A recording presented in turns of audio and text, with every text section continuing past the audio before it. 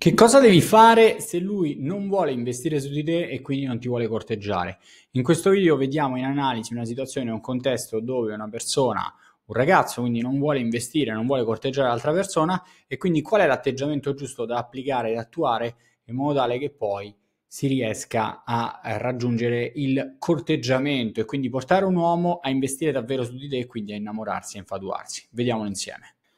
Altra domanda, altro giro. Questa ragazza dice: Ciao Federico, mi sento da un mese e mezzo con un ragazzo, ma ci siamo visti solo quattro volte. Al secondo appuntamento siamo andati fuori e lo abbiamo fatto. Cosa io sconsiglio, no? Ok, premetto che lui è molto impegnato col lavoro e lavora anche di notte e mi ha spiegato questa situazione e che a volte in passato la sua ex partner gli faceva pesare questa cosa. Ho aspettato quest'uomo e nonostante all'inizio pensavo fosse più un disinteresse da parte sua perché ogni volta, diciamo, si presentava stanco, gli ho proposto due volte di fare qualcos'altro, ma ogni volta non si fa nulla, nonostante all'inizio si mostri propenso. Alla fine siamo rimasti da lui perché lui era stanco dal lavoro. Ovviamente ci saremmo dovuti vedere lo scorso fine settimana per stare insieme e mi ha dato di nuovo buca perché diceva che non riusciva perché aveva dei pensieri sull'ex e gli era passata la voglia di fare tutto in quel momento. Si è lasciato da poco, dopo una convivenza di molto tempo, anni, e in tutto questo mi dice ogni giorno, mi manda messaggi e mi dice che sta bene con me. Me l'ha detto più volte, però sembra confuso e incoerente. Cosa faccio per gestire questa situazione? Che cosa dovrei fare per capire se quest'uomo è davvero interessato a conoscermi o è solo interessato a quello?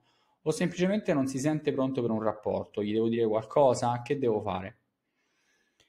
Allora, la soluzione è estremamente semplice. Se un uomo ti dice che non è pronto, è confuso, non sa che cosa fare, non sa come gestire la cosa, non sa come importare, eh, come portarsi verso di te perché è stanco dovuto al lavoro e in più sai che quel ragazzo si è lasciato da molto tempo, questo è un campanello d'allarme, quindi una red flag, il fatto sia che si sia lasciato da poco tempo, dopo una relazione lunga, e sia ovviamente che eh, non è interessato a voler investire su di te nel lunghissimo termine. Questo significa che un uomo non è davvero interessato e ti vuole solo per quello.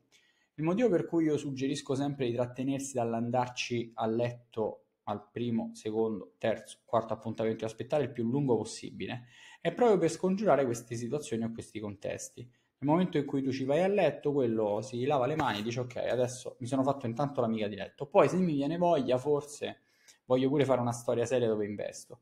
Il problema è che l'unica cosa che devi fare con questo ragazzo è di ridurre le volte in cui vedete, dirgli di organizzarsi per quando sarà riposato o quando avrà i giorni di riposo e dirgli che in quei giorni poi magari potete fare qualcosa, stare insieme e vivervela meglio con più calma perché non ti piacciono le uscite fugaci e non è proprio il tuo stile. Ogni quanto puoi fare un'uscita fugace con un ragazzo? Una volta ogni tre, una volta ogni quattro, ma non tutte le volte accettare di andare a casa sua e rilassarti se sei all'inizio della frequentazione. Se sei all'inizio della frequentazione è imperativo che tu fai capire al ragazzo che frequenti che vuoi fare qualcosa che sia un'uscita fra di voi e se possibile durante il fine settimana quando sai che lui si può organizzare o quando sai che lui ha il turno di riposo. E se ti dice che non ha voglia e che non è proprio il suo stile, in realtà tradotto quello significa che quel ragazzo non è davvero interessato Altra cosa importante devi ricordarti, non sei fidanzata finché non sei fidanzata. Quindi il tuo problema è che pensi di essere impegnata con un uomo che frequenti da un mese e mezzo, in realtà non lo sei. Tu non sei mai fidanzata con un uomo finché non sei fidanzata con lui o non ti chiede di essere fidanzata. Anche dopo quattro mesi, cinque mesi di tempo, se il vostro rapporto non è un rapporto esclusivo, dove lui ti ha chiesto di stare insieme, ti ha chiesto una relazione stabile, voi non state insieme, quindi tu non devi pensare di essere single.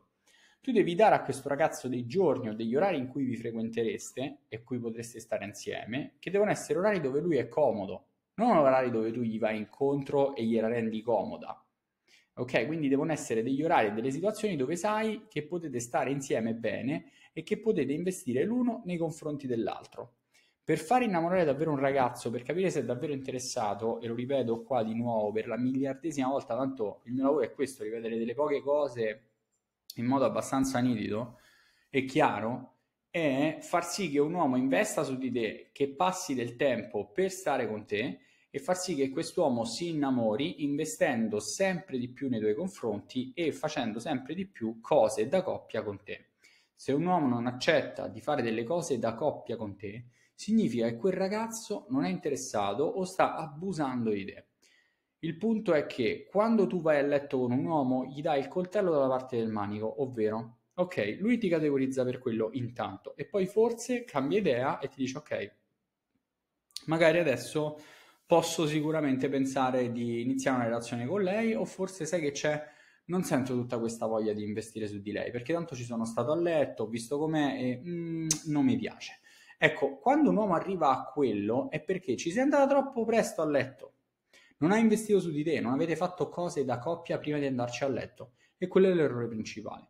Quindi, suggerimento eh, totale, se possibile, prediligi delle uscite da coppia. Se il ragazzo con cui vuoi uscire è troppo impegnato, non ce la fa, è stanco, eccetera, la tua risposta sarà: Wow, mi dispiace molto per questo. Sicuramente sarebbe meglio se magari riusciamo a organizzarci per dei giorni in cui siamo tranquilli entrambi e so che tu sei tranquillo e non sei stanco, così stiamo in piano insieme e ci rilassiamo. Questo è il tuo obiettivo. E se lui non accetta questo stile di uscite, la risposta è che lui non è davvero interessato a te.